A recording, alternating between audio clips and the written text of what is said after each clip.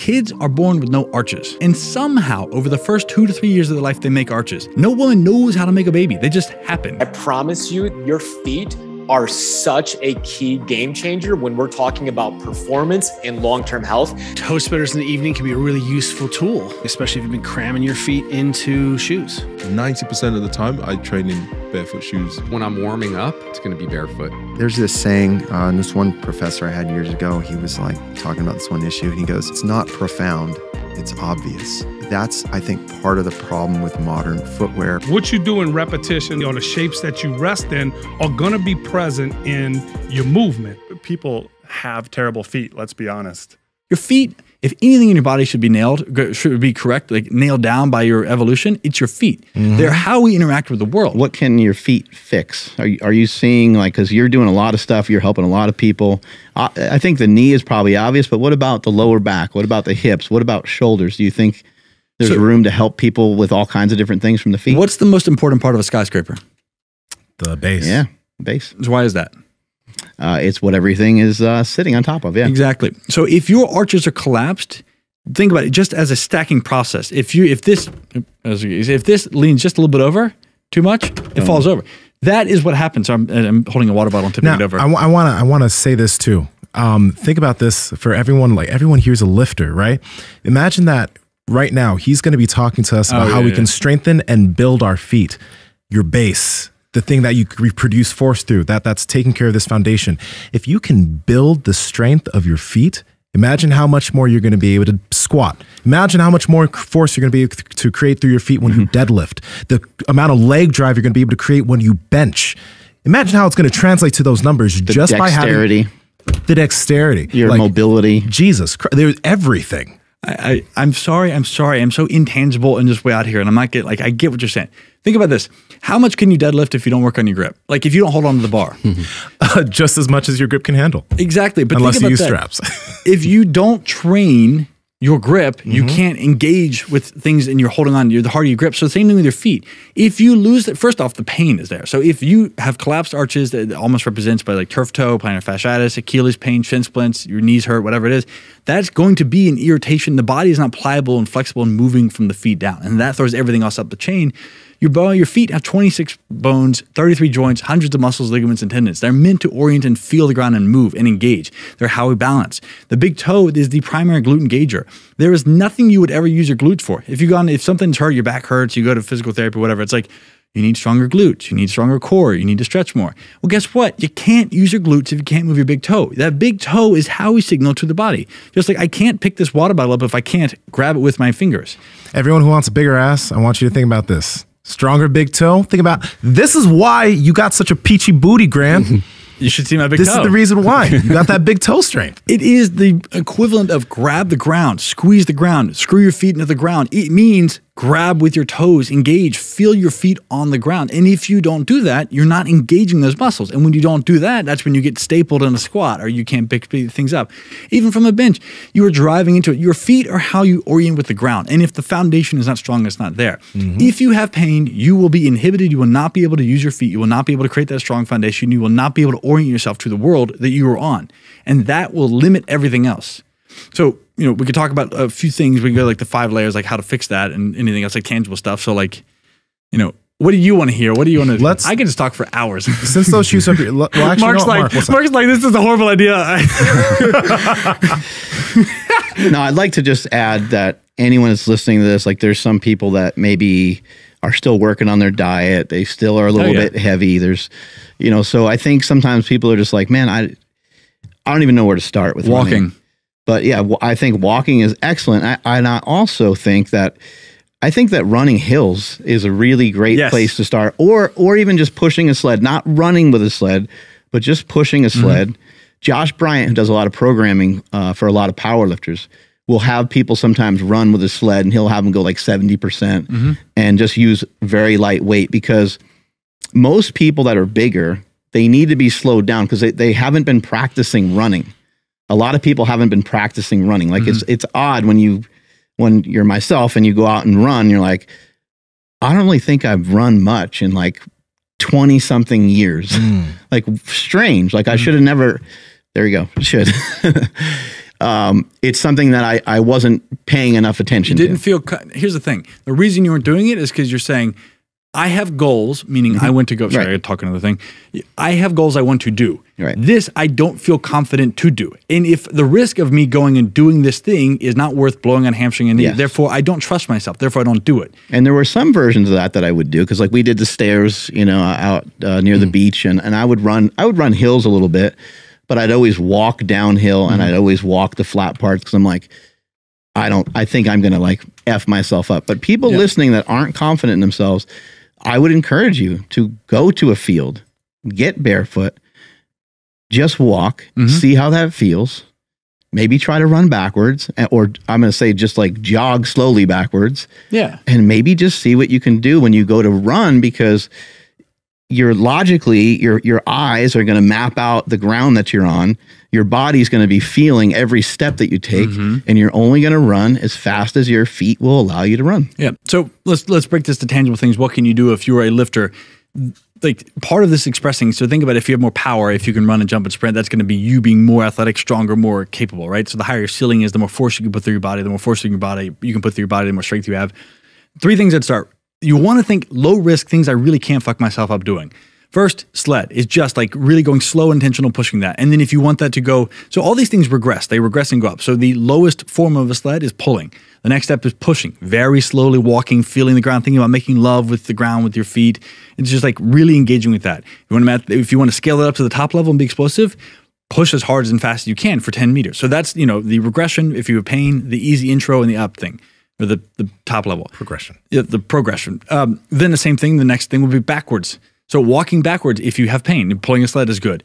Jogging backwards to try to get a little bit more of this elasticity and bouncing, and then explosive running backwards. You really can't hurt. The only thing you're going to hurt yourself going backwards is tripping and falling. So make sure you're in a safe space to do that. Hill sprints. You can walk backwards up a hill as a very simple way if you're in pain. You can just even simply walking up the hill is just like to develop strength there, but then like jogging up the hill and then hill sprint. You really like, I'm telling you, backward sprinting, sled pushing, uphill sprints, those are the three things that you really can't fuck yourself up, but you can scale those up. You can run as hard as you want up a hill. You can push a sled as hard as you want. And you can backpedal sprint as hard as you want. And assuming you don't step on a, a rock or you don't like do the like the on the outlier things, those things allow you onboarding ramps to add this stuff in. And slowly you start to develop because those are all strengthening the muscles you use for running and explosiveness as well. And then you get more confidence. And then if you want to go, you do not have to. I think everyone should be able to. If you cannot go and run at least do like 80% sprints, you probably should not, you know, I should, you probably, it is probably best that you don't go and run. It's like saying if you have a blown out tire in your car and I put the the spare on there, this is your reminder to go blow up your spare tire because it's probably flat. Mm. I put it on, they say don't drive over 45 miles an hour. Why? Well, because it's not rated for that. So you could say, well, that's stupid. I'm going to go do this when I should be able to do this. It's like, no, no, no. Let's back up and say, you would want to go and get real tires that are rated for that speed. So if you don't go, let's say you don't go sprint because you don't feel like your body can maintain that and do that safely, then let's say, all right, what do I need to do to address this and to change out the tires, so to speak, to build up that trust? And these are things you could do. And then once you do that, then you start to get more confident. I think doing some barefoot strides really give you good feedback. So you're going to run correctly. You're going to not overstride. Most injuries happen, people overstride. They reach too far out because they're heel striking. Mm-hmm. Instead of shortening that stride, which happens naturally when you're barefoot, and you just do what are build up strides. You slowly build up, maybe get to 60%, and you slowly build back down. You walk back for rest. You walk backwards if you want. Then you do it, you go to 70%. And you just stay well within this area. And then as you get more and more confident, you can do that stuff. And this is the expression of that. And as we get older, I don't need my 70 year old mother to 64 year old mother, sorry, mom, to go and sprint max effort. But I do want her to be able to have some of that capacity, even if it's just getting up to 60%. It's like, we all have the capacity to run. Everyone does. The question is whether or not we have the tissue strength and resiliency to be able to maintain that for the distance we want to do. Mm. So that's where you build up. And as I build, as I go from being able to not run at all to being able to just barely, you know, stride and do some jogging, running, then to being able to go 60%, 70%, what I'm doing is I'm raising up the ceiling. So I raise up the ceiling for how much force my body can maintain at the top meaning how much you know the weight the bridge can hold at any one time and as i pair that with strength work with walking and with let's say jogging that's intentional. So think of like jump roping or like very slow easy watch like Eliud Kipchoge when he does his longer distance stuff. It's very slow. Well one of the things is like that develops the resiliency in the volume. So i raise the ceiling and then i develop the volume. It's i build the base of the pyramid then i raise the height. I build the base build the height. Old Louie Simmons is uh, pyramid's only as tall as his base? Um, so that that's like that's the that's the big picture. And then within that, that develops. So think about this from an ancestral, so to use that broad word, but from a perspective of how we would have trained, we would have upper body would have been developed by carrying, by pushing, by pulling, by picking things up, by fighting, wrestling. Lower body would have been developed by running and jumping. The Greeks would have done a lot of jumping, like broad jump into a sand pit. If you have a pit, you go jump and you land. Something that takes that soft balance of the force away. Running would have been I sprint to build strength and explosiveness. You want to see strong pound for pound guys, sprinters are what you want. The amount of force they can put in their bound relative to their body weight is insane. And then you think, okay, that's part of the equation, but what about the volume? I'm bouncing back and forth, I'm developing this. Think about this walking, the form of walking, when you land, you slightly invert your foot, you walk, you roll up through the fourth and fifth metatarsal, cross the big toe, and push off the big toe, is the same thing as sprinting or as running, minus the heel, heel part. You just land and you pronate, pronate across. But the same function and motion you have with this stuff develops a tissue resiliency. So after hundreds, so you go and you 10,000 steps. That's 5,000 steps each foot that you're developing that, right? Think about that. If you're intentional, and this is the thing is you go and wear like a big, none of these are the Hokas. If you're wearing shoes that let you kind of flat the ground every single time, down every single time, and you're not getting the feedback, you're not getting those feet stronger, mm-hmm. then you can go walk 20,000 steps and actually be loading your body in a way that's not helpful, but it's still volume and you're not developing the resiliency. So you can make your feet stronger with just like some minimalist shoes, you think? It, like, think about this from a perspective, your feet I, I want to make this as simple as easy of an onboard for anyone listening as possible. It is not go do my process. It is not. I do have a process if you're in pain, just so you know. But it is not like you need to do my technique. You need to do my philosophy. It's like your feet need a bare minimum. There's five steps we can go over to just like barely get your feet moving. And once you get that started and you move with feedback, it is a snowballing thing. It's so accessible. Everything there is like think about this. Kids are born with no arches. And somehow, over the first two to three years of their life, they make arches.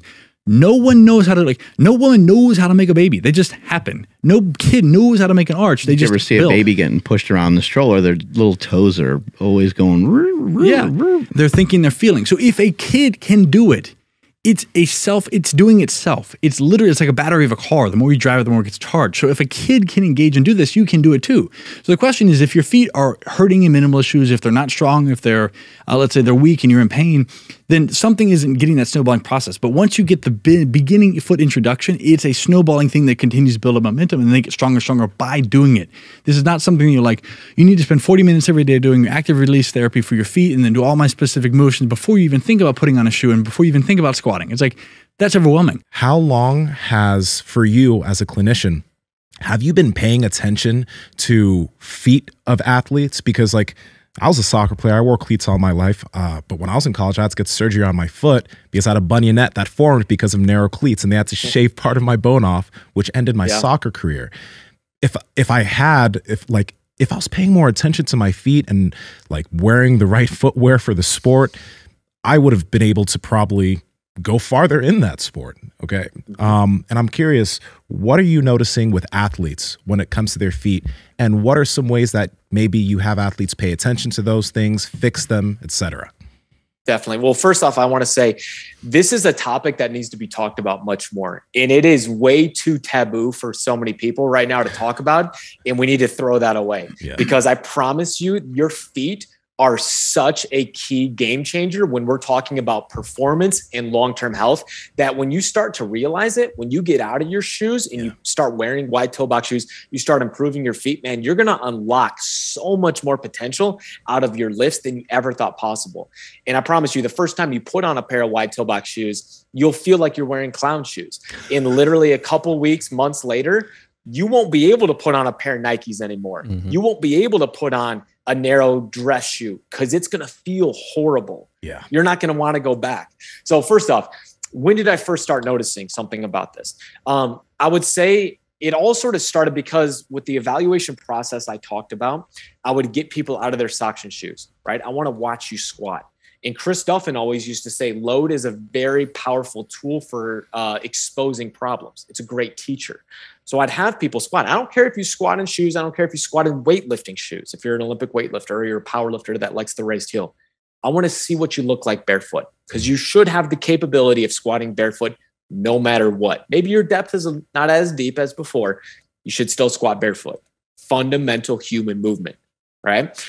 Too often, you get someone out of their shoes, that feet, you know, those feet are going everywhere they don't even know what's going on at their feet because they're always covering them up. Mm-hmm.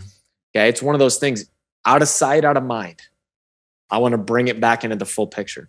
So a couple years ago, I was really sort of going down the rabbit hole into foot stability, and I found Dr. Ray McClanahan of Northwest Orthopedics. Now, Dr. Ray McClanahan is the inventor of the correct toe toe spacer, which I believe, and we can talk about that if you want to later, why yeah. it's the best one of the different ones out there for specific reasons.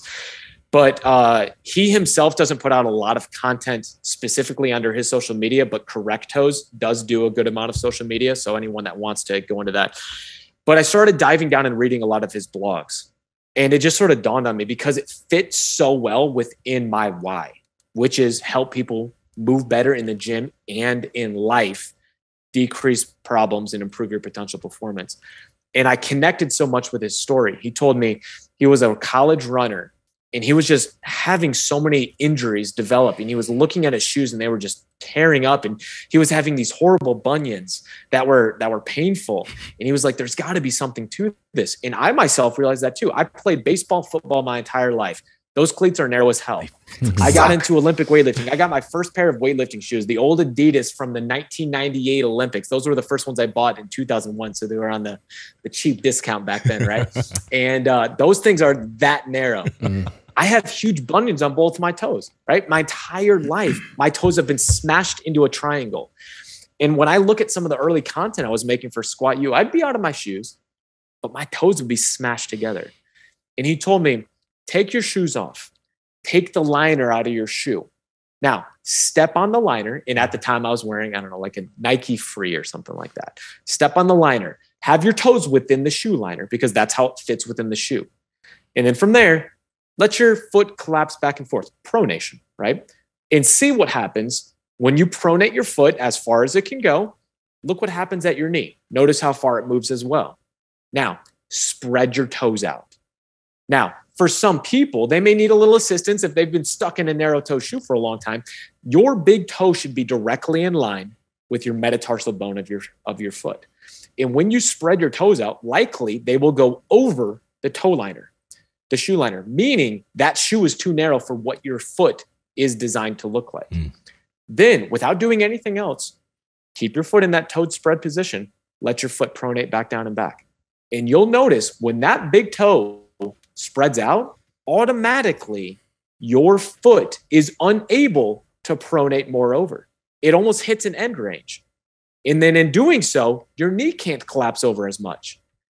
So the position of your big toe has a direct impact on your foot stability, your ability to maintain an arch, and your knee stability, which then impacts your hip, your lifting technique. Mm. It all comes down to that big toe and its position and the position it is pushed into with the majority of shoes today. Most people are wearing shoes that are way too narrow for their feet. And I don't care if you size up or you try to go to an extra 4E wide, they're still too narrow in the toe box. And it all comes down to the way shoes are manufactured. It comes down to fashion. And this is something that this isn't new to the 21st century. Shoes have been manufactured to have a narrow tip for centuries. There's research dating back that looks all the way back at the 17th century in people of nobility, of higher socioeconomic class, mm-hmm. had narrow tipped shoes. People who were the working mm-hmm. class, right?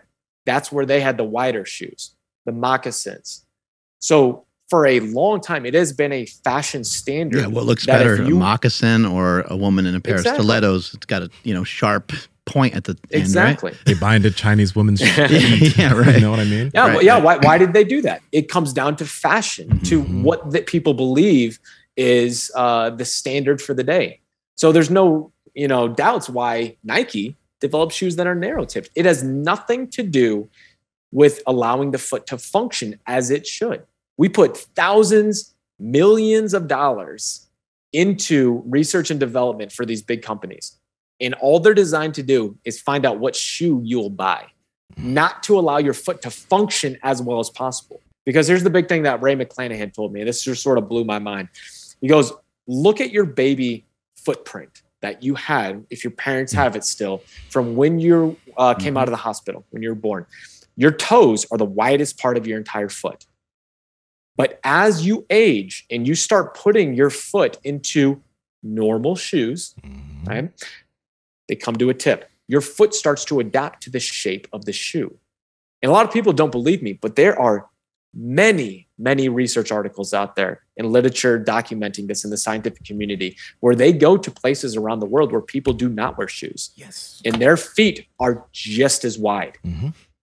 Their foot doesn't change because they're not adapting it because of the shoe.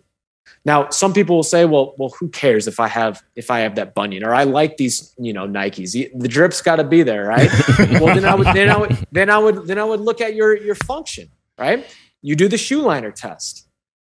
It is no question after doing the shoe liner test that you can have improved stability of your foot, a better quality arch control, and better knee stability when the toe's able to spread out. I think most so, people, if they were to yeah. take the the sole out, as you're mentioning, like the shoe liner, and they were just to put their foot on it and not even do anything else, they would find out that their foot doesn't even fit on there mm-hmm. at all, without exactly. even moving well, that, their foot that around. Post that you shared yeah. yesterday that I put up. Yes. People are like, oh, that, that shoe's too narrow.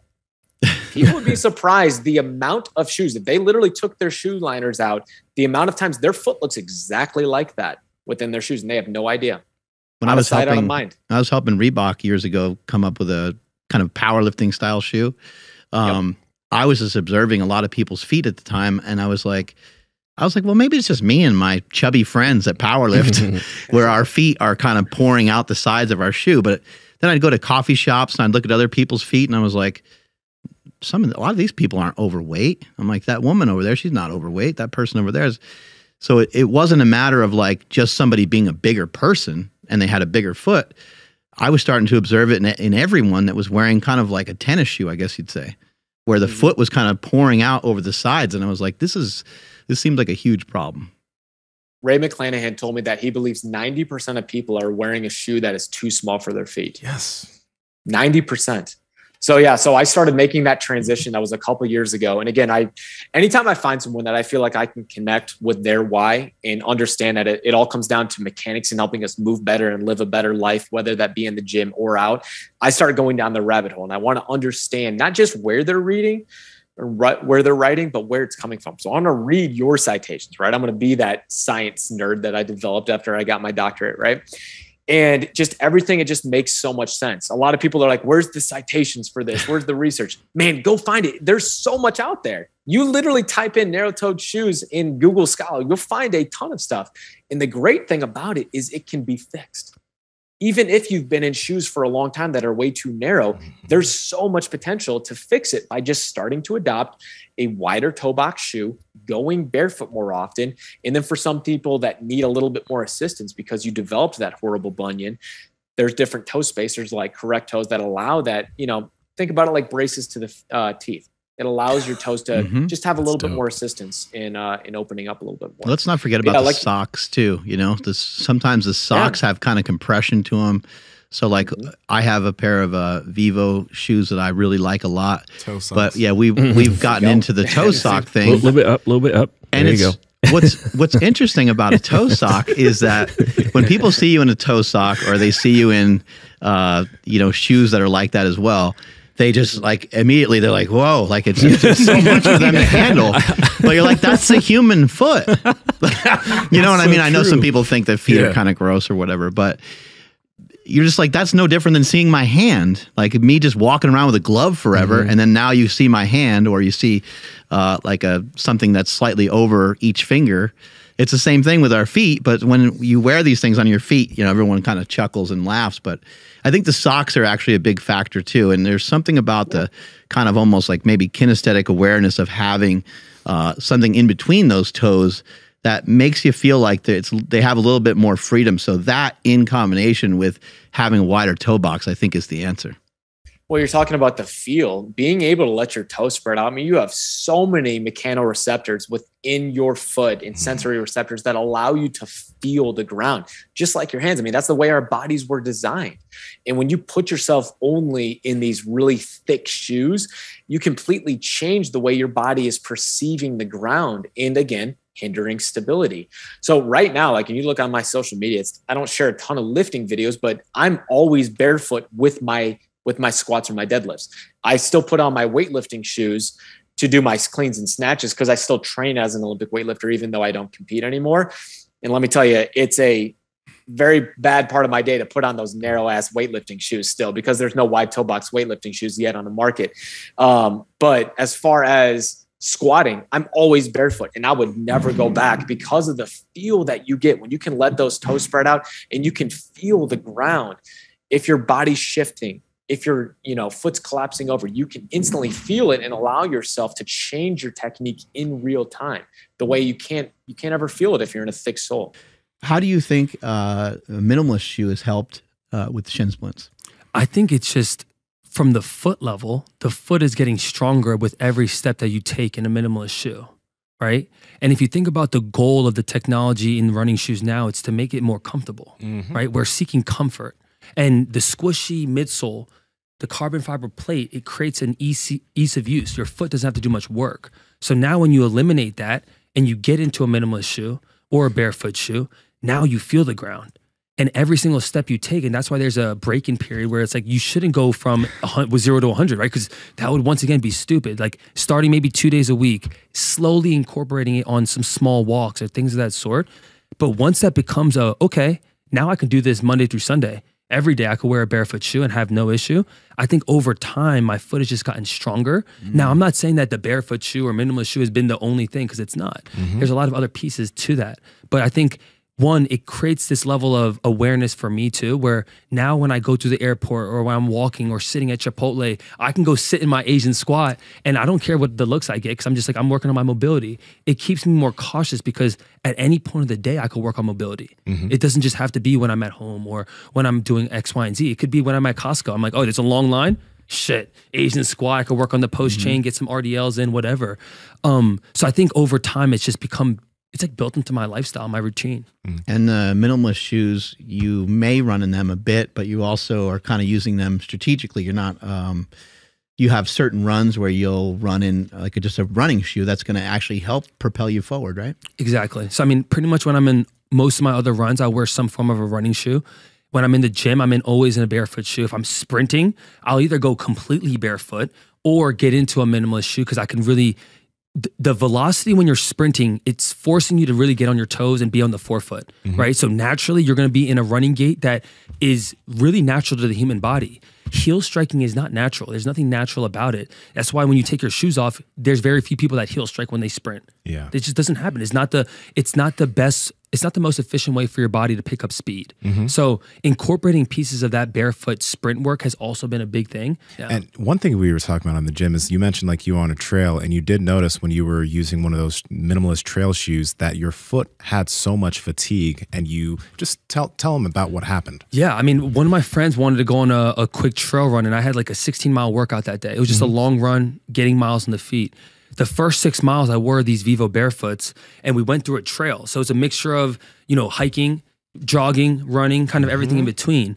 Um, I felt pretty good for the first six miles. And this was the first time I really took barefoot shoes for a run. Yeah. So six miles, I'm like, all right, after I was done, I'm like, all right, did the math. I'm like, I got eight or nine more miles.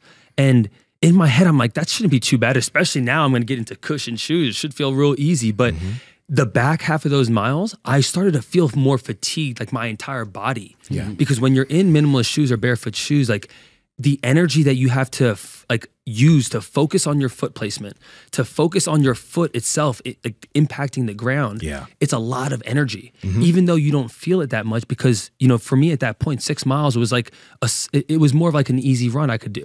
But then I noticed on the back half, it wasn't just the heat in Austin. I felt like I used more energy in those mm. first six miles. So even as I was wearing these Hoka shoes, I'm like, dude, why does this feel so hard? Like eight miles around a trail, like it shouldn't feel this difficult, but it yeah. did. And I think it's just, it shows you that when you're using barefoot shoes, it requires more out of your body and your mind.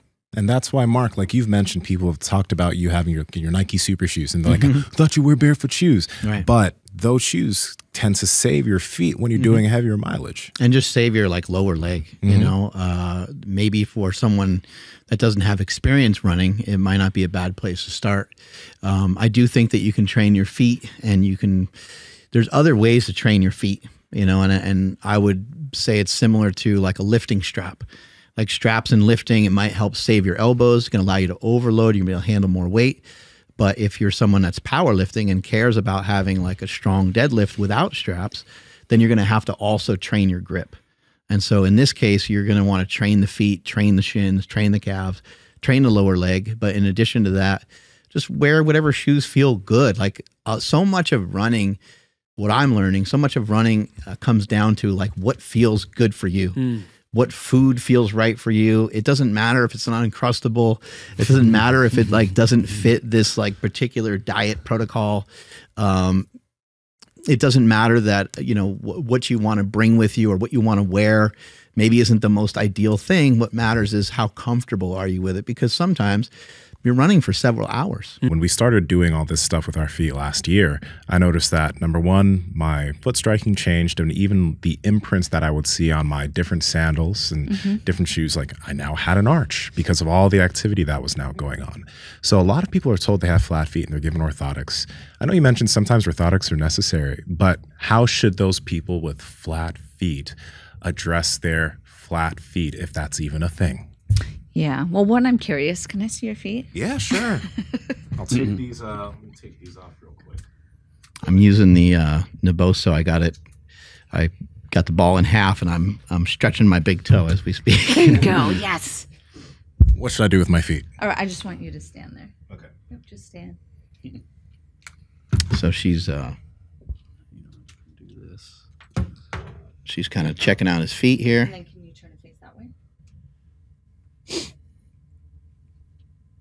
Analysis of the foot going on, okay. play by play. Good. So I um I would actually call that more of like a pancake foot.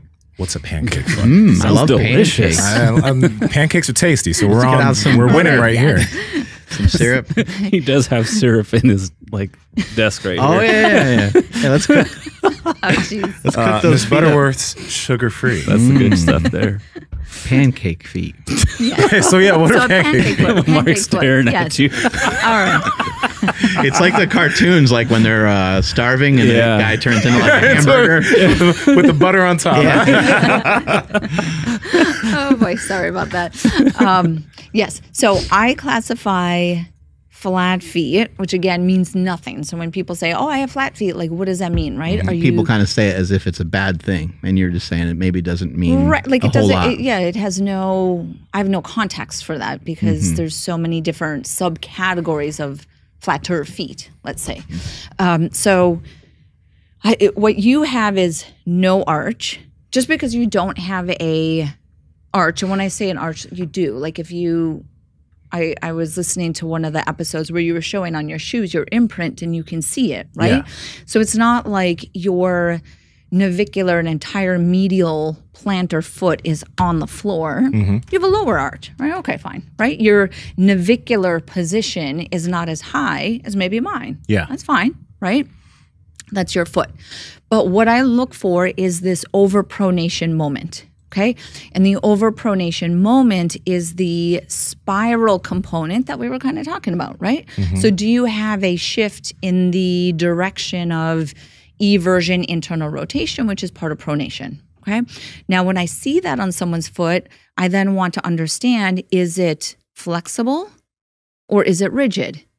Certain people's feet is overpronated with the spiral in a rigid form. Ooh, That's typically yeah. like a later stage. They have severe pain because all of the joints are arthritic. Mm-hmm. But that's like a later stage, but it's a foot that you have to understand, right? And then the opposite of that, or what typically happens before that, is a flexible. So that would be someone where they look at their foot and they're like, woo, look at that arch. I got yeah. a nice, beautiful arch. And then they stand up and they go boom. Mm-hmm. But when they collapse, they're like mm. that. Yeah, yeah, yeah. You're not doing that. Yeah. Right. So they have. If I did that, that I could I could feel if I do. You that. would feel if you did that, right? yeah. right? Yeah. So yeah. you have you know eversion, internal rotation. There's a spiral moment to it. Mm-hmm. It's flexible though, because if I just look at your foot, it's neutral. No gravity, no body weight. You stand up, boom. Yeah. Right? Then you have to say, well, why is that happening in that person? Mm-hmm. Do they have a weak foot? I don't know. Yeah. Maybe in certain cases. Or the big one is they might have an element of ligament laxity. And this is the big one that a lot of people overlook or forget, mm-hmm. right? Ligament laxity is oftentimes genetic, right? So we all have connective tissue properties that are genetic. And in certain people, the ligaments, where we have over 100 ligaments in your foot, are just a little bit too flexible Yeah. to support all of your body weight, force, acceleration, gravity, all of that, that it just starts to kind of collapse in the spiral. Hmm. That is very different than someone who it's muscle weakness. Okay. Muscle weakness, strengthen the foot, strengthen the post tib, strengthen the core, strengthen the glutes, and you can help to derotate them. But we're strengthening the derotators of the foot Yeah. to then stabilize the foot. Now, a pancake foot, that's just my term. That's Mhm. not like a medical term. so if you go to another podiatrist and be like, I have a I have a pancake foot." pancake foot, they'll be like, I don't know what you're talking about. So a pancake foot is, so this was frontal transverse, Mm-hmm. right? Our planes. Yours is sagittal. Yours is just genetic. Your bones were developed with a slight, sorry if this is confusing, a slight declination to the bone. So instead of them being inclined, this is your arch, right? Mhm. There's just a little bit declinated. Yes. Okay. That's just part of your structure. Okay. Okay. So your foot does not tolerate orthotics. I would never give a foot like yours orthotics because I know that it Thanks, wouldn't work. Doc. Mm-hmm. Appreciate it. 'Cause if you- the years of fucking orthotics as a teenager, fuck you, bro. I'm joking, but not joking. Anyway, let's keep on. Should If find you- that guy. Yeah, I need to need to fucking strangle him. you, oh, boy. my name. if you try to put something like a hard piece of plastic, that's what orthotics are, right? They're like a stiff, thick, hard piece of plastic trying to drive your arch up. Let me just force these bones up. But the bones are technically like parallel to the ground. That's your structure. Yeah. I can't move that shit, right? So you have to understand that. Now, could we build a little bit of intrinsic muscle strength? You've already said you've done that, right? Yeah. Can I strengthen the glutes? Can I get my feet connected to my core? Absolutely, right? And I see tons of high level athletes with your exact same feet. And really, my colleagues who in school we would be like, orthotics, orthotics, would be like, how does that athlete not have injuries? Mm. I'm like, because it's they don't have that spiraling internal rotation Mm-hmm. right? Yeah. So that's how I start to look at quote unquote flat feet.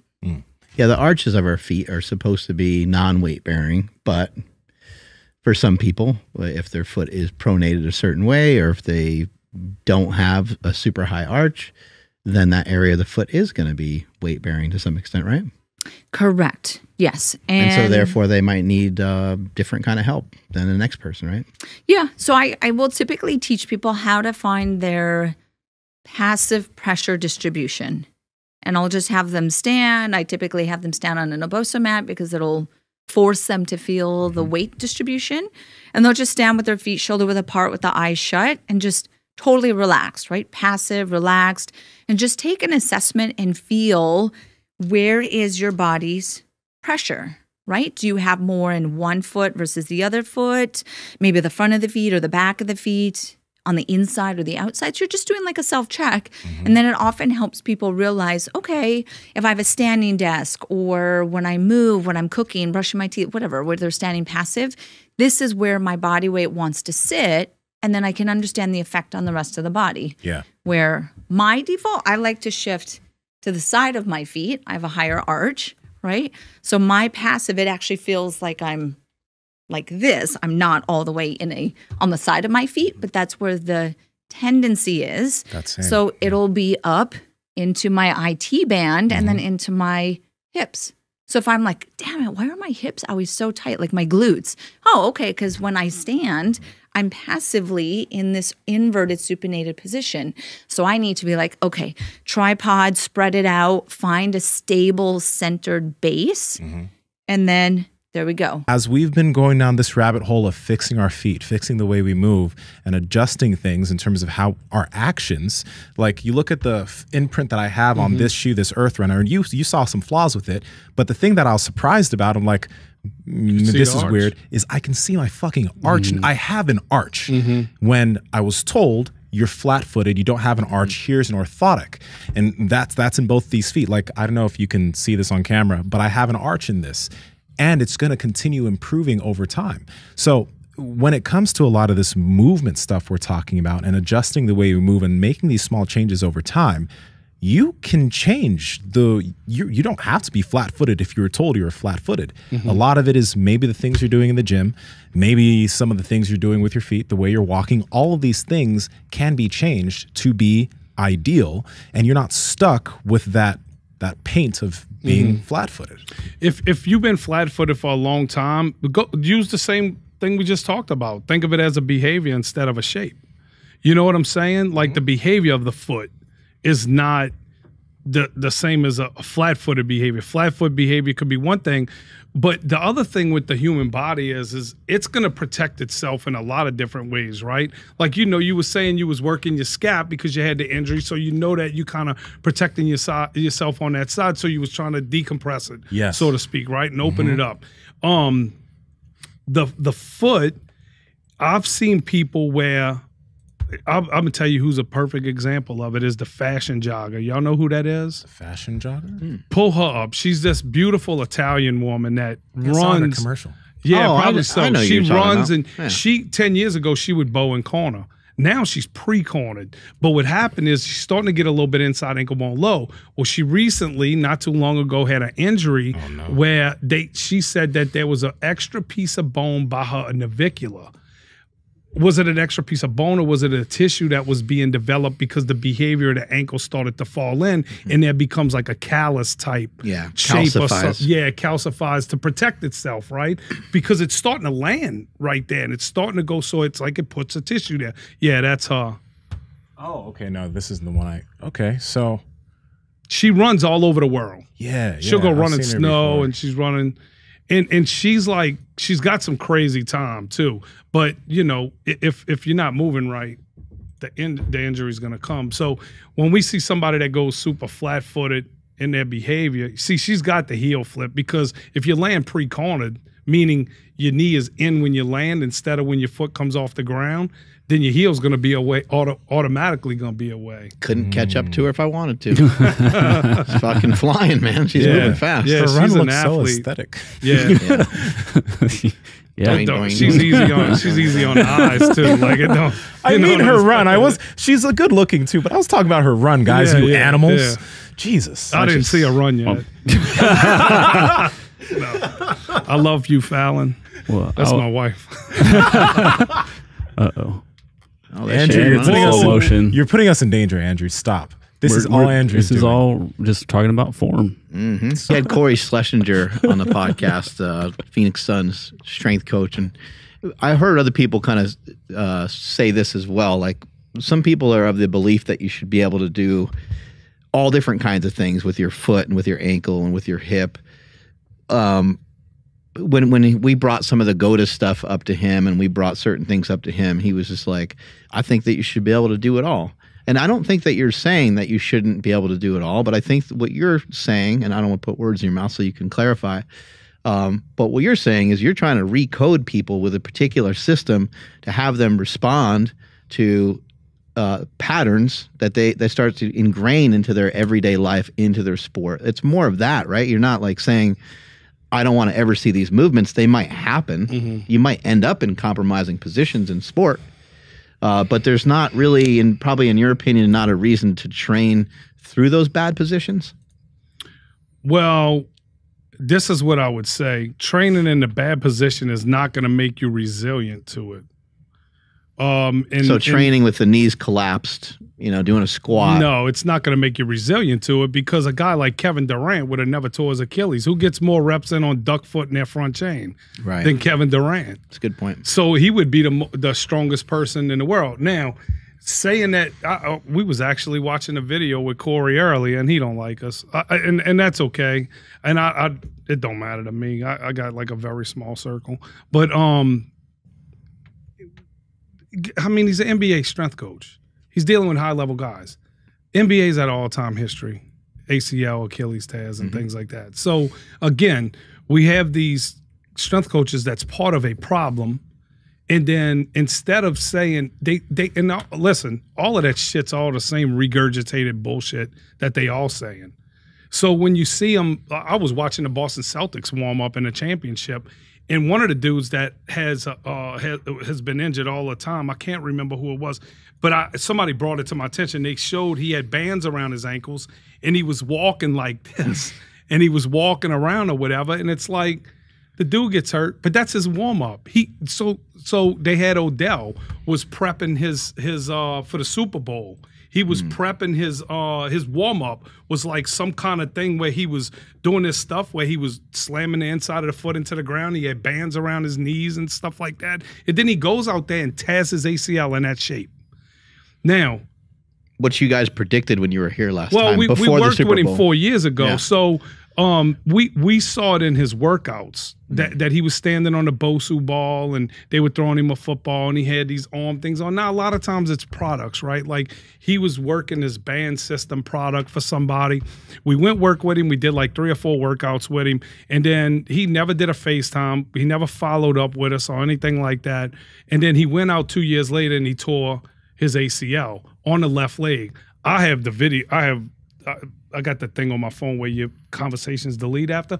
But we told him that his left side was going to be at risk because of what he was doing on the Bosu ball. He was balancing, and it was he was introducing collapse to it. Now, that's a good little segue to the little kid, the baby mm. that I, I had showed you because what you do in repetition or what you do consistently or the shapes that you rest in are going to be present in your movement, right? It's going to show up in your game. So if, if you pull up the um video, Andrew, of the, where he's sitting, yeah, the baby where he's sitting first. So you see how he's sitting inside mm. ankle bone low. He's on that big toe, right? Now, if you go to the other video, wind it so people can see it. And this is a family member, and they they just want, you know, they they believe in what we do. You see it there. Now, if you go to the run, you'll see, slow that down, you'll see that shape in the run. The same shape that he sits in in mm. the run. Right? Now, go pull up the one that I put with Jameis Winston. So this is Jameis Winston stretching in the W, and then he goes down into that position because he hmm. introduced mm. that to his nervous system. So when he got pulled, his moment of who I am and what kind of security or infrastructure I've built in my body, if I introduce my nervous system again, like we said, a five year old, right? If I show it inside ankle bone low in a W sit like that, it will use that on the field at some point. Mm. Well, there's a great video of Aaron Rodgers going out of bounds, and he's getting pulled down the exact same way. He goes inside ankle bone high. I got um, the kid uh, Jake Fromm that was the quarterback at um at the University of Georgia in the SEC championship about four three years ago against LSU. Mm-hmm. Same same thing. He gets hit and he goes into a child rocker position and he gets laid flattened out. Both heels are out, toes are in. He lays flat on his back and he gets up and he makes the next play. Yeah. You know? One thing, uh, because you did mention the Bosu ball, and I think with a lot of these tools, it depends on what the athlete is doing with it, right? Like you mentioned, like he was going into those positions with the tool, but you don't have to use that tool. You don't have to go into those positions with that tool. No. It can be used for some great movements and great balance if you're doing the right things on it. Right. Right. So I did want to mention that because I think that's an amazing tool if the athlete uses it correctly. Oh, the Bosu ball is the awesome. Bosu ball? You can yeah, get into, we use it. You exactly. can get like a dome position with the feet and something like a hip circle, bands around the waist. I mean, you can drive the heel out. Like that's what I always teach when I teach people to mess with any of those types of movement is to drive the heel out first, not to drive the toes out. But you never know what the fuck people are going to do when, yeah. when they're when they're utilizing uh, certain tools. Yeah, I mean, I we like uh we like the Bosu ball. We use it for a couple of things. Um, you, you know, we have our little products like the wet, the the chucks and the and the slant boards mm-hmm. and things like that. What, what's your take on toe spreaders? I think toe spreaders in the evening can be a really useful tool to restore what your feet should be doing, especially if you've been cramming your feet into shoes. When I was um, 20, I went to Nepal and did this big trek uh, up to Everest Base Camp. We did like 26 days in the mountains, and there were these porters who were carrying 80 kilos on their back, and they were mm-hmm. barefoot, and their feet looked like triangles. Mm-hmm. So the heel was back, but their feet were so wide, and none of their toes touched. And every time they took a step, the toes touched the ground. Mm-hmm. So they were carrying these huge loads barefoot in the mountains, and they had these feet. And I remember being like, "Whoa, that's weird." So toe spreader is a great way to recover your feet, especially if you're having to use a shoe that does what? That compromises your foot function. So again, all tools are valuable. When am I going to do it? How useful? If I have to wear a cute shoe and then you know I'm a climber or I wear a soccer shoe, great great recovery. You know even Olympic lifting shoes aren't aren't necessarily designed for your foot function. Yeah. I mean, seriously, you guys, I don't think you know. Like, Kelly may have broken the internet a few times, but he broke the internet the most when he was like, sorry, people, you can't wear flip flops. I mean, mm-hmm. whatever on all the other ways that, you know, he is, he's Yeah, like made people mad. Brian MacKenzie from a million yeah, years like ago. if that's the number one, like people freaked out. They were like, it was as though, I, I don't know, it was, it was, it was hard. It wasn't hard because I was right. Can you reiterate the flip flop thing though? Because I don't think people enough got people mad. have seen that. They got actually mad. All right, everyone. Look, here's the deal.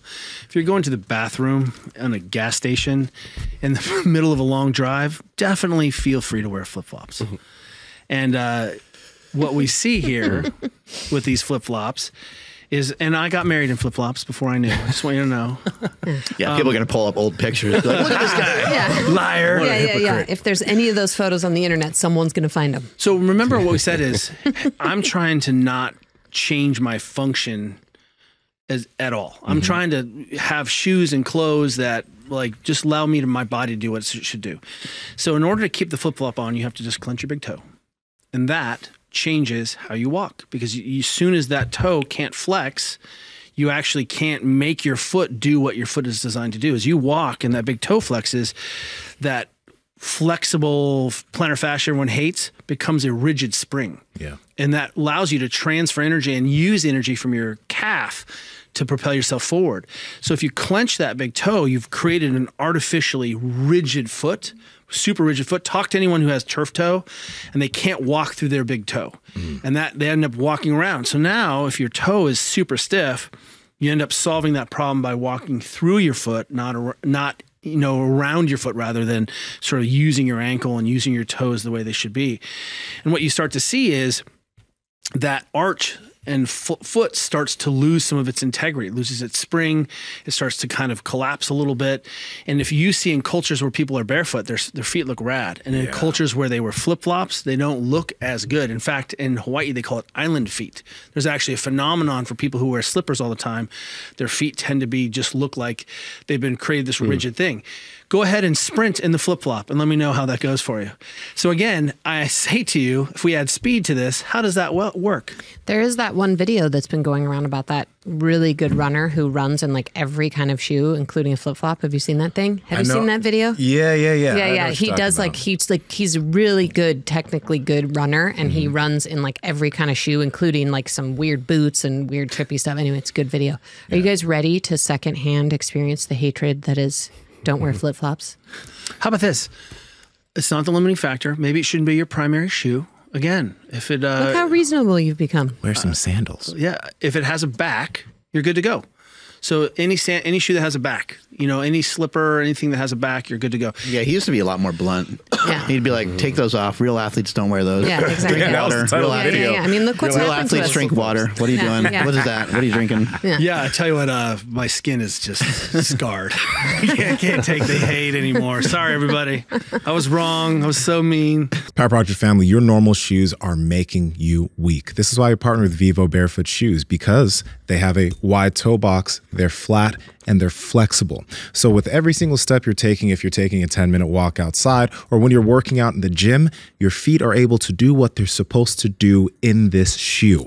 They have tons of options for hiking, running, training in the gym, chilling and relaxing, casual shoes for if you're out on a date. You need to check them out. And Andrew, how can they get it? Yes, that's over at vivobarefoot.com slash power project, and you guys will receive 15% off your order automatically.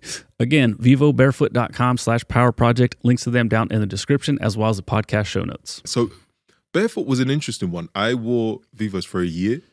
Um, they, how did I get into? Vi- I, I, I think there was one time I saw the shoes and thought they were really interesting because I have flat feet, and um, I was like, oh, I'd really like to try these shoes. So they sent sent me the shoes, and I was like, this is interesting. I mean, the first two weeks. You had to get used to it. Yeah. How was it for you? Like, what what do you remember? Because it's like first the first few days, like my feet were in pain. They were not used to touching solid ground and just walking around. Uh-huh. So not like uh, uh, I can't describe what the the sensation feels like. It's just uncomfortable. That's what it is. And I remember trying to do some CrossFit stuff like jumping, skipping, like Mm. jump rope, skipping, box jumps.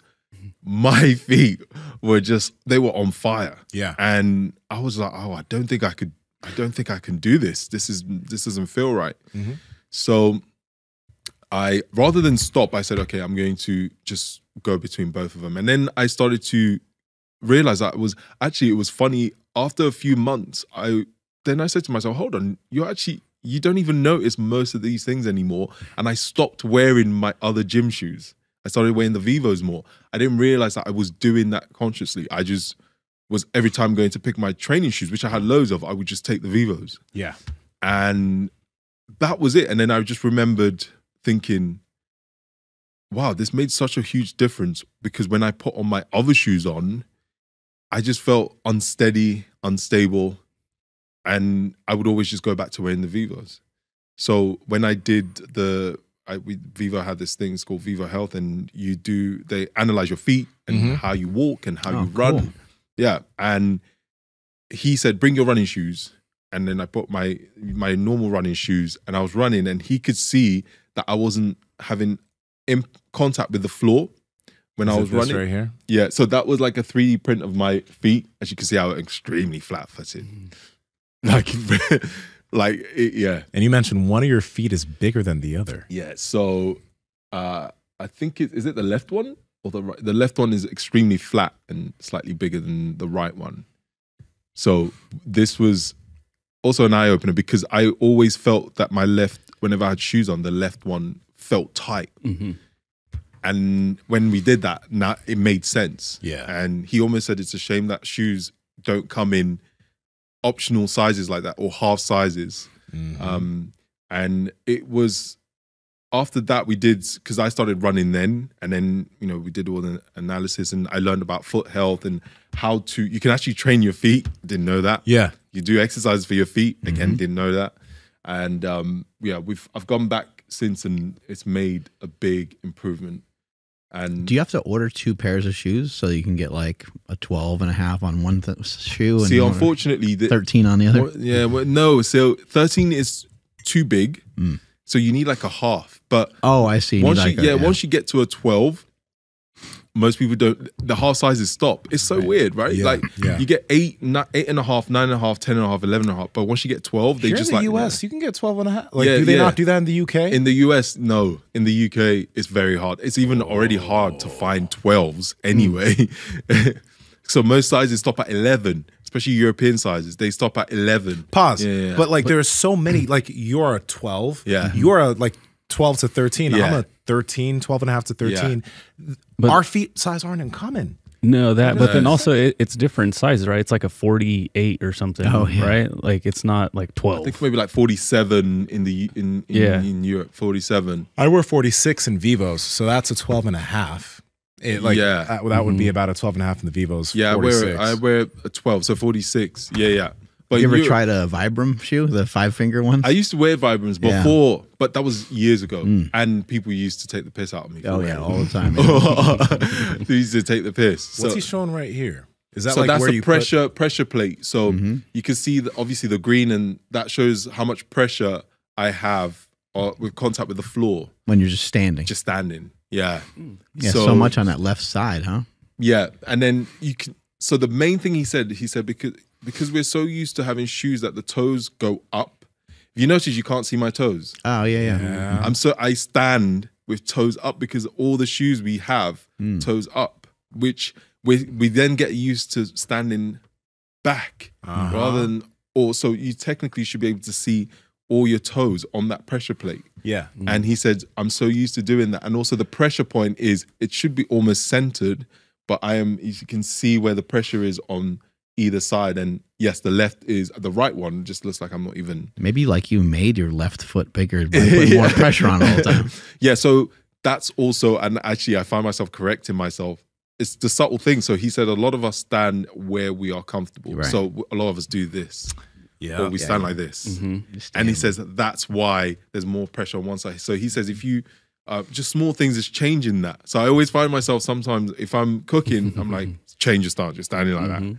You know, so it's just those small changes I didn't even think about until kind of we went through all of this. And then when we did the second time round, almost a year after, like it you you could see there was a difference, especially the way I run and especially with the pressure on the on the pressure plate and how I stand. Mhm. But it's just learning all that you, was so alien to me because I didn't think there was a lot of especially there's a lot of uh, science and information you can learn about your feet.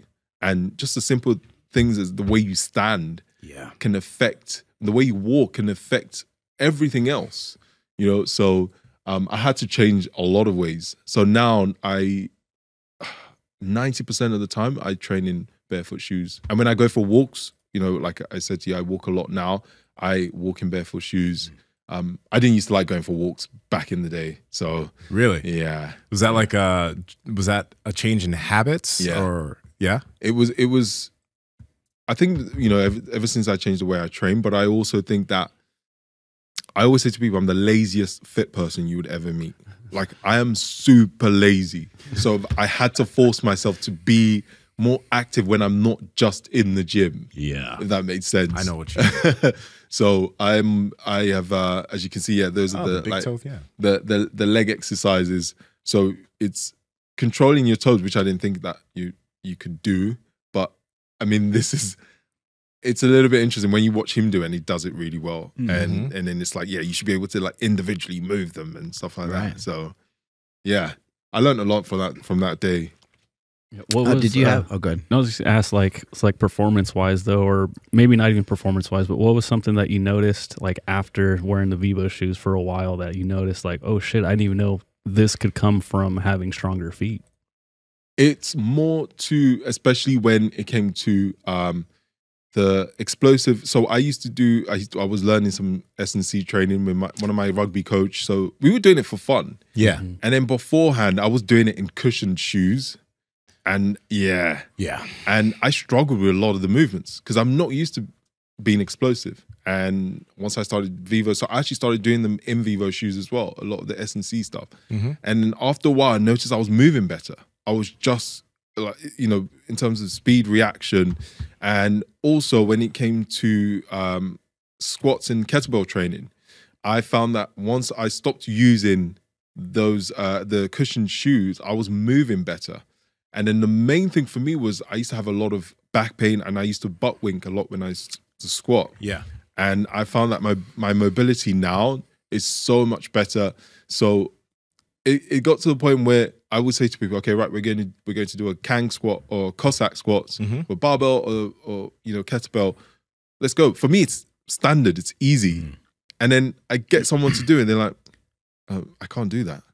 Like, how can you not do a Cossack squat? It's really easy, but because I'm so my mobility has improved so much. For me, a basic movement like a Cossack squat, some people still struggle because they don't have that um, mobility and ankle mobility. Because my ankle mobility was shocking when I started, Mm-hmm. and now you know when it comes to things like overhead squats and having some barbell cycling in the workouts and doing some snatches in the workouts, I can do that now where I couldn't do that before. Yeah. But for me, certain things I used to think things like pistol squats. So you know, I thought, uh, you know, I learned to do it. But even just doing pistol squat to a box, I thought you know, pretty standard. Yeah. Some people can't do that, Yeah.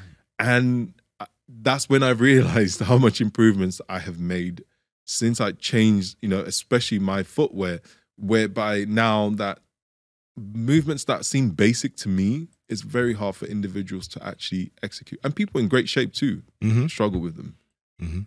No, it's it's it's making it. It's made a big difference in terms of like not just balance during things when I'm doing jujitsu, but like things like walking. When you were talking about kind of changing the way you stand, Mm. we've done a podcast in the past when we were talking about like how we walk differently in terms of the way we place our feet Yeah. and the amount of weight we put on different parts on our foot when we walk. Mm. We run differently. A lot of things have changed after we started not just like obviously you know like right now we're smashing our feet with these things but Yeah. like as we've been able to increase the fitness and dexterity of our feet it's seeped its way into other things that we do as far as like lifting, running, jujitsu, all of that type of stuff. Yeah. It's pretty wild. But it's like that, or thick socks and smash them together.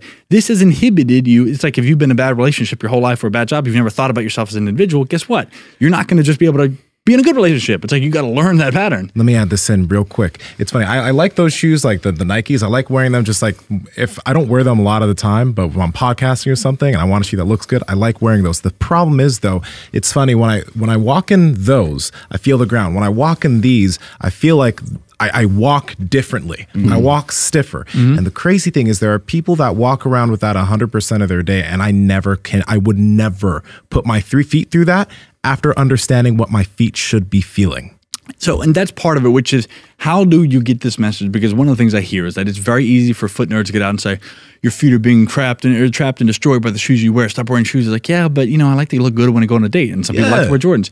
So this is your feet are strong and resilient. It's just no different than the way I want you to think about it is with the right strength and the right bound foundation, your feet are very strong, and that means they can be in a shoe like that for a few hours and be totally fine. Uh-huh. But just like if you're going on an airplane, and I was sitting for hours yesterday if you're just sitting down for hours at a time, we kind of get that, okay, maybe I should do some movement and open that up and undo that. So if you are wearing those shoes, that's totally fine. If you have to wear shoes, I mean, there's things you can do, right? So like even these Air Jordans, are, I, I don't hate them uh, all, like they're obviously a narrow toe box, but relatively they're kind of flat. Okay, I don't love these, but the point is like if you can have a shoe with a wider toe box, there are dress shoes that look, you can make, if you have to be in shoes all the time, like if you're, and it's totally fine, wear shoes. I'm not out here. I'm the a lot of times dress shoe has a pretty wide toe box. Yeah. Yes, and uh, you can get dress shoes that look like they have a heel, but they're actually down. They're flatter. Mm-hmm. Those are great options. And uh, Anya's reviews is like the best for like uh, the un the amount of like research she's done for men and women, different types of shoes and European shoes and stuff.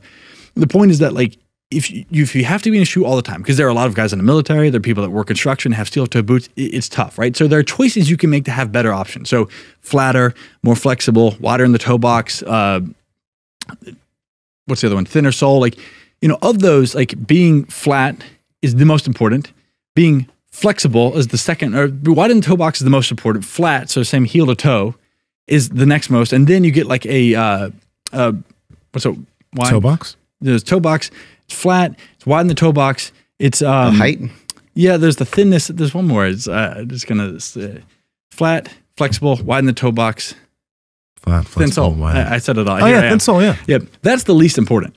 So if you can get it flat, if you get it flexible, and if you can widen the toe box, you're good. Mm-hmm. And the next part, the thinness in the sole, is about comfort. So if you're not ready for that, that's totally fine. Uh, but the thinness allows you like not sprain your ankle when you're walking on an uneven surface, and it gets you lets you feel the ground. But remember, it's not about being perfect. This is not about the right shoe. It's just understanding your feet are strong and capable, and if you do the work underneath them, and then hey, when you have to go on a date, well, you don't have to. If you want to go on a date and you want to, you know, like when I wear my six inch stiletto pumps and I go on a date and look cute it makes my butt look really good. Um, when I do that, it's like, oh, okay, let me just do a little bit of work afterwards. But one of the things I love is that I go through this running program and I get clients that always give me feedback. And um, I got a, a 20 day process. So you do this and your feet continue to go. And one of the ladies that was doing it said, I had to go out and uh, dress shoes, like six inch heels, some heels. And she goes, normally my feet ache for days after doing that. But like I woke up today and it felt great. I was like, that's what I want. Your feet should be able to go and do whatever and bounce back. You should be able to go run, play basketball, lift, and feel great the next day. When it comes to like heels, whenever like with my exes, whenever I'd see them in heels, I'd be like, do you do you like wearing that? It just looks really painful. And the reason why is because when I wore cleats uh, when I played college soccer, mm-hmm. I am thankful this happened to me because I wouldn't be doing what I'm doing. Uh, but since I wore cleats all growing up, my feet, let's say this is my pinky toe, my my pinky toe came in and it would compact my feet, and they had to shave off the bunionette bone from my pinky toe mm. and stick a screw in. And that's the thing that like I was in crutches for six, actually seven months. I went back to try and run on the field, and I couldn't, so I got cut and mm. that's that's what stopped my soccer career. But I'm thankful that happened. But either way, I know the problems that narrow shoes can have because I have a wide foot. Yeah, and most people, even people have narrow feet, they're still toes, no foot. So there's two things. People look at like you saw the, the Alpha Fly where there's the raised toe on the mm-hmm. front and the back.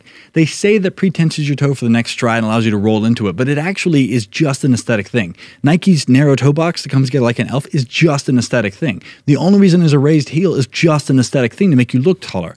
So these three things that are so common, like the curve of the shoe, the narrow toe box, the raised heel, are literally only for aesthetics, which is fine. Mm-hmm. If you want a shoe that looks good, that's absolutely fine. But the important thing is to understand that these things have an impact on your function and your health. And over time, that degrades the quality of your foot and you literally lose the capacity to move. And then when that can't work, all of the muscles in your calf, your shin, your lower leg, your knee, your hip that are engaged by those feet aren't working. And then that creates long term functionality that's lost at those uh, up your body. And then you get weaker. I don't know who it was that came onto the podcast and said it, but there's somebody we were talking to recently that said that top level professional athletes are just the highest level and the best compensators for issues. Because yes. as we're talking about all of this, I think about all the NBA players that have been running and playing in basketball shoes all their life. And typical basketball shoes are pretty narrow. And these guys are jumping, sprinting, oh. going side to side, playing defense, getting low. You see, uh, I mean, I'm not going to say this is what happened to him, but Kevin Durant, who had that Achilles uh, injury that like that fucked him for a year, and he's back on the court. But these players are doing these amazing athletic movements. Mm-hmm. Most of them don't pay a, don't give a fuck about the shoe they're wearing. Even Jordan well, in Jordans, they they, they do they because oh, they sell them. They, they sell them, yeah. Here's a good example of this because what you want to think about is people go, well, why do they wear that? First off, most of the shoes that these athletes wear are bespoke models made. They're specifically made and built around the foot. Ooh, okay. They're, they're not like the, the version is so uh, Eliud Kipchoge is running that uh, marathon. I'm probably saying his name wrong. So Eliud Kipchoge is how some people say it, but I yeah. Eliud Kip. Now I know. Eliud Kipchoge.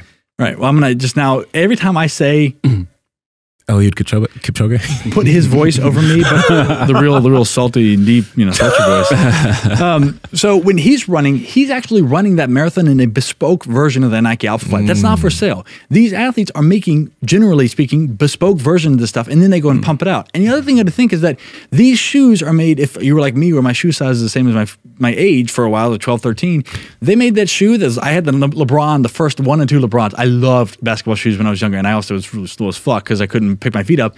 That shoe, this Air Jordan, is made for 300 or 250 to 300 pound basketball player and me who happened to buy it because my parents wanted to buy it for Christmas. So, mm-hmm. you know, think about that is like that shoe that you're wearing, those, they're not, they're, they're made to 200,000 pairs because they got to ship this all out and send it to you. That's yeah. not made for you. Mm-mm. You know, it's like, that's one thing to keep in mind is that when you do see this, they're not necessarily, it's not what you see. And they were trying to get a shoe that looks different, that looks cool so that you'll buy it. It's a business thing as well. So it's mm-hmm. not about functionality. And what are some things that you personally do to like take care of your feet and make sure that your feet are themselves? So I, I, know that you guys uh, uh, had, you know, obviously um, promote this and seen it too, especially when I'm warming up, you mm-hmm. know, it's going to be barefoot. I have the Vibram shoes, the five, the five finger, yeah. the five toe shoes I will sprint in those. I will run some medium to long distance in them every once in a while, mm-hmm. maybe like once or twice a month. Okay. Uh, I will also roll my feet with a lacrosse ball. I'll also roll my feet on a barbell. Mm-hmm. Okay. You do it on the barbell and it's like 10xing what the lacrosse ball is doing. I'm going to go do that. Every once in a while, get a golf ball in there, something like that. And then um, there are really fantastic things that something like an Epsom salt bath can do if you're doing it just for your feet. Okay. I recommend just doing it for the whole body. Mm-hmm. But if you're doing it just for your feet, you know, you're looking at Chinese medicine once again, drawing um, toxins out and whatnot from the bottom of the feet because that's kind of an endpoint in the human body. So uh, I think that I think that magnesium baths, the Epsom salt baths, are heavily underutilized heavily, heavily underutilized. So cheap. You can get a bag, like a five pound bag off Amazon for like $9. What would your suggestion be to people for maybe how they should try to be striking the ground? And I know that there's, it's too broad of a question because everybody has their different movement inefficiencies because of maybe certain things in the gym. So maybe their feet are turned out, etc. But what should we ideally be looking for when we're striking the ground when we're moving forward in space? So, first one is to find the rhythm. So, walking is supposed to be rhythmic. Mm-hmm. Um, second big thing is you have to take sufficient strides or steps. A stride is actually two steps, but um, sufficient step length. Yeah. So if you do not take a sufficient step, and maybe you don't because you don't have big toe range of motion, that'll jack it up, mm-hmm. right? But you have to be able to take a long step to force the other arm across do this in it, right? So I can get mm-hmm. this reciprocal pattern between here. If I can't take a long step, there's no need for me to rotate my T spine. So that that just shot everything, mm-hmm. right? Um, when we take long steps and we get that reciprocal swing mechanically, like biomechanically, that's where the spiral's created. But that's also how your fascia, so the spiraling that Mark was just talking about with the pictures, is really fascial and mechanical, mm-hmm. right? So then that's how you load your fascia. So if you start to shorten your stride so that it's staccatic, I actually think that the way that people now walk in modern society is actually a huge hindrance on movement longevity and anti-aging and all of that because we just don't have the the wringing out of the fascial rag or you don't get a sufficient pump up to the brain for cerebral blood flow. Like there's this whole like cascade of events that happens if you don't walk the right way and at the simplest you know requirements of walking the right way mm-hmm. is stride length or step length and the speed that is associated with that. I think we're so conditioned mm-hmm. To our, our feet going into whatever looks popular, you know, whatever we're used to. And I there's this saying, uh, and this one professor I had years ago, he was like talking about this one issue, and he goes, "It's not." He goes, "It's not profound. It's obvious," and that's like I think part of the problem with modern footwear. We're so accustomed to it. It's like, so I, I brought this shoe. Maybe I'll show it. I've been using this. Dude, as you're really fucking strong, by the way. you just, Just ripped that. that shoe right in half. and it didn't even make a sound. It was just like, yeah. some Jedi shit. So, uh, Jesus Christ. so I have this shoe here. I know it's kind of silly, but I just threw this on the bandsaw, cut it in half, and um, you know, You covered up the branding. I just realized that. I bought it at Ross too. I just went in and got like the cheapest. Like this looks like what I think a shoe. Most people think a shoe looks like, mm-hmm. but we're just trapped in this paradigm. It's simple, but you look at this like on the outside, you see a shoe kind of flat, but then like so many things, I think that when you ask one or two or three questions, you realize there's not much like holding up, you know, this idea. Yeah, And so s- well, I call it like three questions deep. Like, Yeah. why is sugar bad? And you start to go down the thing, and it's like the person doesn't have a great explanation. any like longer. zero. Yeah. It, a lot of times it's even like one, and the um, then you find out there's uh, the man behind the curtain. You know, it's the Wizard of Oz. So in this case, uh, what's going on with shoe companies? It's totally nuts. But this is, you think of your foot just sitting there flat. Well, um, it's presented as flat, but then when you cut it in half, you look into it. This is the resting position. I don't know what they see or don't see, Uh, but the be just- resting position for your foot. Imagine if you were barefoot and your foot was like you're standing on a flat surface and you go your, your foot would just your heel would be down it would be the heel would be at the same elevation as the big toe like that's obvious you know you might have a little bit of an arch built up um, and your toes would kind of be splayed and you'd be nice and comfortable mm-hmm. that's another thing i could spin off for quite a while and I'll, I'll actually come back to that why they'd be comfortable but so their idea of a resting position is that your heel is three quarters of an inch higher than the middle of your foot at rest. Mm-hmm. And then the toe, I mean, this is crazy. And you just look at it for a minute and you can see all this stuff. The idea is that your toe, that's your big toe, is going to be lifted up, elevated. So, what we know about tendons is they're basically just like big rubber bands. Mm. And if you just let a rubber band not be stretched, it'll it'll shrink. And so they're putting your big toe in a position where you're actually shrinking it and your foot's never actually relaxed.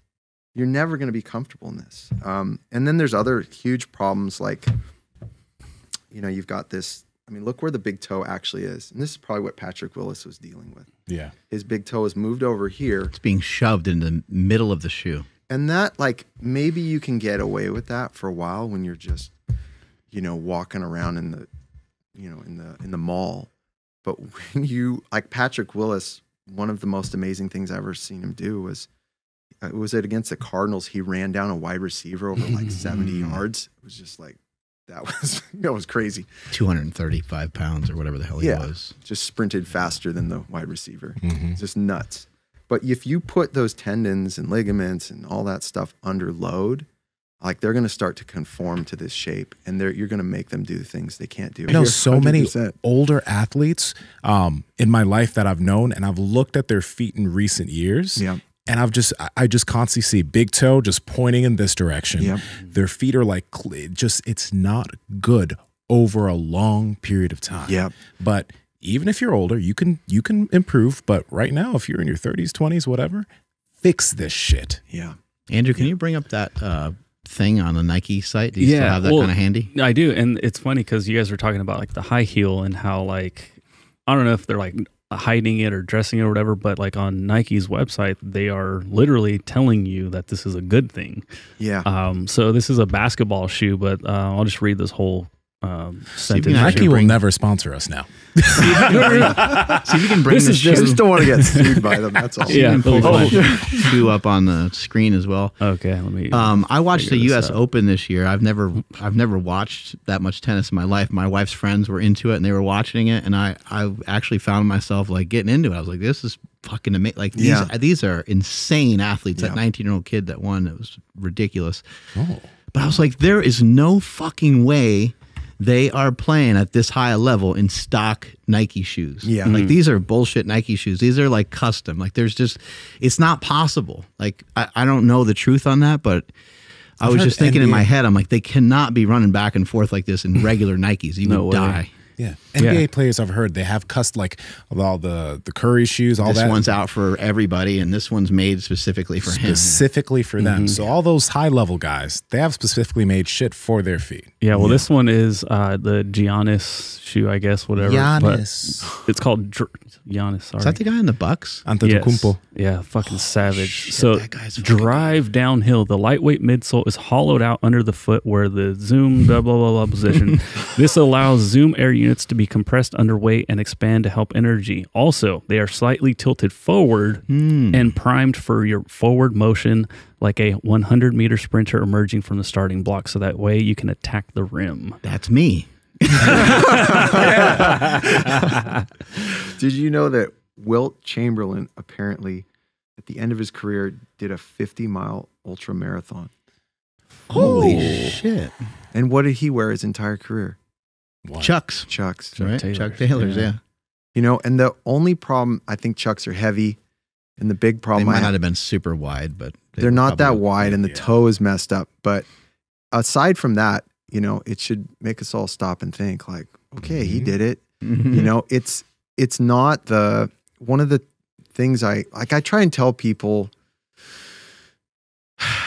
like why I, I would ask people that are skeptical about the sandals and um, they say well doesn't that hurt isn't it doesn't it hurt to walk around it's it's so thin or whatever and I go well at the end of the day when you go home do you ever take your shoes off and you, they go home like yeah sure like do you walk around your your kitchen on the tile or the hardwood and does it hurt? They're like, no, it doesn't. Well, that's because once you have a hard surface, you don't push in any harder than you need to. In fact, your reaction time just speeds up. Yeah. And you you're not Actually, I wonder if you guys have noticed this. Now he brought that up. I don't think about taking my shoes off and having that be like a relief. Mm-hmm. Yeah. guys? I don't. Yeah, I used to. I used to like. I'd be on my way home, and I'm kind of like, I can't wait just to kick these shoes off and Yeah. just chill. Yep. I don't even think that. I, I never didn't even think of it until you mentioned it. Now I'm like, oh, that that gap has closed a lot because I might still be wearing these in my kitchen just just without even recognizing they're mm-hmm. still on. yeah, totally. No, that's so true. That's like a big I, deal. I, Do you guys like walking around the pool on the cement? Does it hurt? No. No. Well, it's again, you're just being sold something you don't need. Yeah. It's crazy. You know, the cool thing is that this is something that anyone who does strength training or has been lifting for a while kind of already understands. Yeah. Within lifting, yeah, there are Olympic lifting shoes, and Squat University just came out with the first barefoot Olympic lifting mm-hmm. shoe. But either way, the shoes are flat. Yeah. Like if you're an experienced lifter, you know that you want the bottom of your shoes to be flat. A lot of lifters choose to go with the deadlift slippers, right? Because it allows them to fully flex Yeah. their feet into the ground and create as much force as possible. Now you wonder though, why am I only trying to wear the best shoes to create strength within my foot while I'm in the gym? Yeah. Why don't I have something for when I'm moving around all day long, standing, doing everything else? Yeah. Should I have something that allows me to, I don't know, express the most amount of strength that my feet can? Yeah. and you're not and you're like we talked about earlier your feet will get they'll get stronger but they'll be in a relaxed position Oh yeah. this is not this is not you're relaxed human. It's not human. It's like somebody's just telling you you are wrong and we have to we got to fix it. Yeah. This is you're not going to change that structure of the foot and the way we're Mm. meant to move, you know. And here's the other thing that's kind of funny. We always think about this being the predominant view, but just all of human history. I mean, think about the Romans. How did they conquer all those different lands or Mm-hmm. or the Persians or whoever it was at whatever time? They're running around in literally almost nothing. In fact, up until the 70s, all our running shoes were just like super flat, super thin. Um, it was so. Do you know what changed that? His name was uh, Coach Bowerman and um, and uh, Phil Knight. So they teamed up, There you go. and Coach Bowerman. He knows his history. I like it. his whole idea was, and he personally, What did he create? he he he created Nike, and he created his first um, shoe was called the Cortez, I believe. And so what he did, maybe you should, if you could pull up an original Cortez, it's kind of interesting. So his idea was that, and he personally wasn't a runner himself. I mean, he coached a lot of runners, but I, from what I've heard, I could be wrong, he wasn't like a great runner himself. He his idea was if we add more padding to the heel, the runner can lengthen their stride. Okay, and this is another gigantic piece to the puzzle. And there's some truth to that because you you can relax your stride a bit, but there might be a cost to it. There's actually no truth to it. Sorry, Mark. Uh, no. oh, let's go. And John, I want to ask you this because, like, we were talking about feet earlier, but when we were talking about that in the gym, um, you were mentioning how some people make too big of a step too soon because this is like the second time where barefoot shoes and, and barefoot activities have like come into like become popular and they were but a lot of people got themselves hurt. So can you talk to us about like kind of how people got themselves hurt and then how people can safely transition? Because number one vivos aren't the only shoe out there right there's a lot of other shoes that can be like ultras are pretty deep, pretty good um, and a lot of other shoes that might help people in different ways Yeah. so Yeah, I mean, a lot of people's feet uh, are incredibly weak. Yeah. And if you immediately expose them, it's the same thing with anything. Uh, you put a lot of weight on someone's back and they don't, they were not familiar with it, it's gonna be a problem. So you can jump off the deep end and seriously like make your foot problem worse. Like a lot of like the back pain we were talking about with the instability. A lot of people's feet have instabilities. Uh, you guys were talking about like piano toes, like moving your toes up and down, like and that connection, which most people can't do. Like if you're sitting at home right now, like try to lift up your big toe on the left, make it go. Move the left pinky toe. Like a lot of times we just, I know you can do it. I see. There you, you can make it happen. It's not easy. It's it's not easy, and so there is this disconnect, which is a sign of weakness.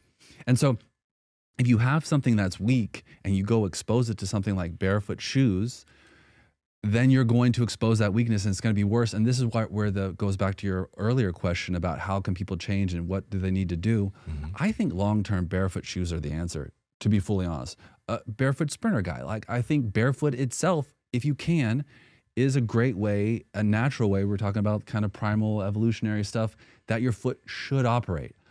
But on the way to there, you need to be a little bit more specific. So if you're if you have foot pain, people ask me this all. I have pain. What should I do? And I'm like, I got to evaluate. It, it, it, I'm not a professional. I can't just crystal ball it like Sarno all the time. uh, you have to get evaluated. So there are shoes for overpronation, oversupination. There's neutral shoes. Altras are great shoes. Um, but yeah, I think long term, barefoot's the answer. And you were also mentioning in the gym something about certain individuals who have like bone on bone stuff in their feet, and just barefoot shoes aren't good for those people, correct? Correct. So, what was that? So, I mean, if, that's the instabilities we're talking about. If those instabilities are there, uh, this goes to the body. We were talking about how to create extension. If those bones are on bones and you don't have the ability to use the muscles in your toes, Yeah. The intrinsic muscles of your feet aren't working, then you're just going to collapse further into that bone on bone problem. Um, and it's going to make it worse. Yeah. Yeah. So I do want to mention too, because we've been talking about a Vivo and I'm using Vibrams too right now, but I've been wearing Vivos for about a year now, Mm. and as I was making that transition, I'm, I played soccer all my life, etc. But I had certain times where my feet were in fucking pain, like they Mm. hurt. So eh, I want people to understand, just like Mark, you're getting into running, and it took you a while to get to where you are now, but you had to make a gradual transition into being able to run three, four miles nonstop. This type of barefoot transition isn't just putting on a pair of Vivos and going out running. Like you might have some pain sometime. You might have to go and wear some different your normal shoes so that you can relieve your feet of some pain here and there. But it's not going to be something quick. In the long run though, it can be it's I've found it to be extremely beneficial. Like I feel like a fucking kid because the connection now I can have to my feet, my toes and all that shit. It's exciting. But give yourself time in that transition and when you have these bumps in the road where you're feeling pain or like if you start to feel pain in your knees because of something, just understand that it is a gradual transition. It's not going to happen in just a few months. It could take a few years depending on where you started. if you can be patient, it's so much better on the other end. If you're willing to be like, you know, six months from now, one year from now, what what sort of workout, what sort of food diet, well, do you want to have for, for to be good, feel good in a year? You know, mm-hmm. if you have a wedding in six months, I get it. You have a quick thing you need to do, but like, what are you going to do for ten years? What's your ten year plan? And oh, ideally, it's barefoot. Mm-hmm. Extend that time horizon. people have terrible feet. Let's be honest. Uh, mm-hmm. my feet aren't perfect. Some of the people in this industry that know more about feet than me have terrible feet, and they're just trying. You know, that's why they got so good at it. Is to trying to fix their own feet. Yeah. Mm-hmm. So I mean, these things take time. It is water on rocks, so to speak, before we can smooth them out. And and yeah, we have to. Yeah, like the patience thing. I'm not good at it. I'm somebody that's learned from trauma.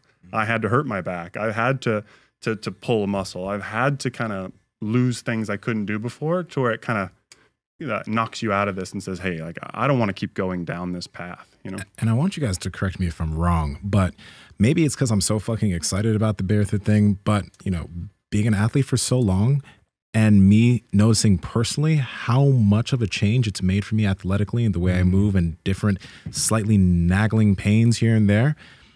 I can I, I I feel like if I see this much of a difference and I've been doing the athletic thing for so long, I think it could be a massive mover for just anybody who just gets control of their feet and makes that transition over time that a lot of things, you know, you change this one thing and a lot of things just follow suit. Am I wrong in that logic or what do you guys think about that?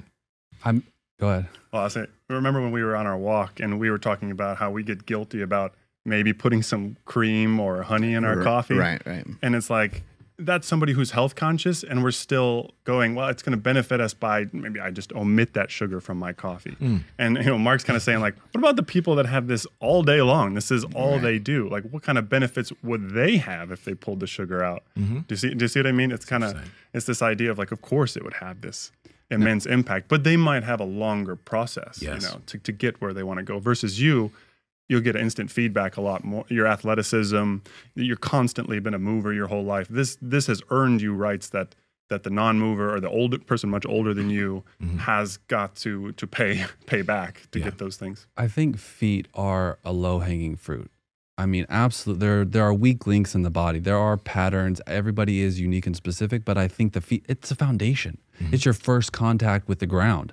And if it, there's some sort of twist or torque or instability there, that starts to manifest itself upwards, right? Yeah. And so I think it's a really low hanging fruit that a lot of people can work on themselves.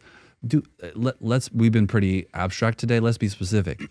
Can you do, can you move your toes? Can you lift up just your big toe? Work on that. Can you get a lacrosse ball and put it on the bottom of your foot? Can you walk around barefoot for a little bit, right? I think if you will notice measurable changes if you can do that with the minimum amount of consistency in your life. And if things hurt, like if you put a lacrosse ball under your foot and it hurts a lot, that's probably a sign that your feet are not very strong and maybe not very resilient, right? Absolutely. And the same thing with like elbows and knees and stuff. If you get down on all fours and that shit hurts a lot, uh, you might have some issues with your tendons and ligaments and things of that nature, right? That's a that's where room to grow is. We can go back to our hips over here, right? When we did that exercise, we did an exercise where he was just activating his groin muscles, and we put him in a specific position. You could probably see that video on the YouTube channel, but I mean, he we spaz it spasmed up pretty intensely, and the Yeah. groin muscles not what you do. What would you, what was your experience there? Well, yeah. I mean, again, laying down on my side and I've never tried to quote activate my groin muscle that Right, way. right, at right, least right. I don't know if like Mm. if you activate it when you're like thrusting forward during intercourse. Not sure if that's the same thing. But what I was doing was like pulling back. It was so weird because um, you had me do a couple different things, but then you put my knee in a certain position, uh, and again I'm laying on my side, and as soon as I lifted my knee up, I could feel everything just like, nope. My body was Yeah. like, dude, whatever you're doing, you need to stop right now because we've never done this and I don't know what's going to happen. I tensed up and it locked up. It didn't lock up. It just was about to cramp very fast. I mean, we're talking within like seconds of moving my, my knee a certain direction. And so that and so that's when eh, after that eh, Andrew wanting to get better over and over he was like what else can I do and I'm like you have to work on this for a while. The the weakness that you experience the the the cramping that you experience is a sign of weakness that you're talking about Mark that you can work on. And mm-hmm. so like sit there, stay there, get better at that for a while. If so if you experience weird pain in these interesting positions and look there's a difference between there's this famous track coach. He's he says there's a difference between pain and pain pain. And I think we kind of know the difference between the two. And so yes, if you find those weak points, that's something to work on. Absolutely. Yeah, you find something that's just like ridiculously hurts, then that's probably not a great idea to push into that. Correct. But if it hurts a little bit and you can make progress there, That's you might it. be onto something. I think you said something in the gym earlier that I think was really useful. I'm like, how much pain is too much? And you're Mhm. like, well, if there's a regression, like if over the course of the next couple days, you're like, ow, like shit's getting worse. Well, then that's a pretty obvious thing, is to kind of go based off. I mean, it'd be nice to just throw out a number to somebody, but it's kind of hard because everyone's uh, value of pain or degree of pain is different. So you enjoyed this video on feet. Well, how about learning how to lose fat and keep it off with a bunch of really awesome people? It's right here, and you should check it out because if you want to lose fat and keep it off, obviously you want to go there right now, right? Right? You should be here now. You should be watching this video so you can learn to lose fat and keep it off because you don't want to lose fat and gain it back, right? Who who wants that? That makes no sense. That's why you should be here.